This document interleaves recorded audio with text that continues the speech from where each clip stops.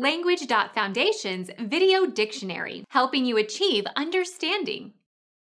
A familiar name for a person, often a shortened version of a person's given name. Byname, cognomen, nickname, sobriquet, sobriquet. Become our student and get access to effective and free educational materials. Subscribe to our channel to become a part of our growing community and to learn English effectively.